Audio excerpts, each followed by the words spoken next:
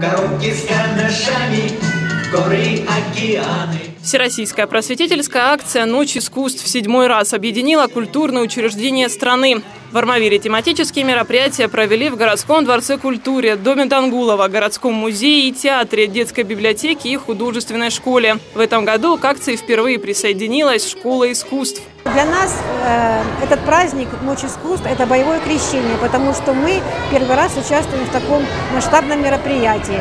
В этом мероприятии задействованы все коллективы, которые есть в школе. За неделю где-то до мероприятия поступало очень много звонков, люди хотели прийти, люди спрашивали, и мы очень рады, что сегодня переживали, честно говорю, э, рады, что такое большое количество людей и надеемся, что они не просто пришли посмотреть, как танцует его собственный ребенок, да, но еще и посмотреть, что мы можем сделать очень многое для города в плане культурного воспитания.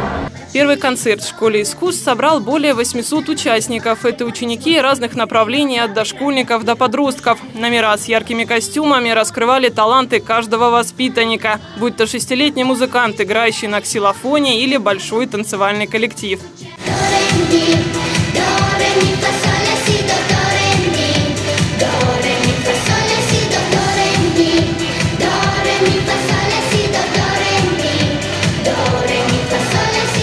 Числу артистов не уступало количество зрителей. Они заняли не только все места, но и проходы между креслами. Вне зала они увидели картины межрегиональной выставки художников Юга России «Пространство искусства» и попробовали себя вроде творцов.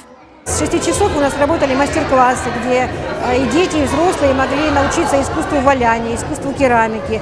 И также у нас есть взрослые артисты, которые играют на скрипке, которые сами поют и которые хотели бы поделиться своими талантами вот, э, с жителями нашего города. В год театра отдельную программу представили ученики театральной студии «Лицедеи». В ней соединились и вокал, и танцы, и актерское мастерство. Академический хор сменяли семья мартышек, детские отряды и школа сценического боя. А после 21.00 для зрителей выступили инструментальный ансамбль преподавателей школы и взрослый коллектив скрипачей.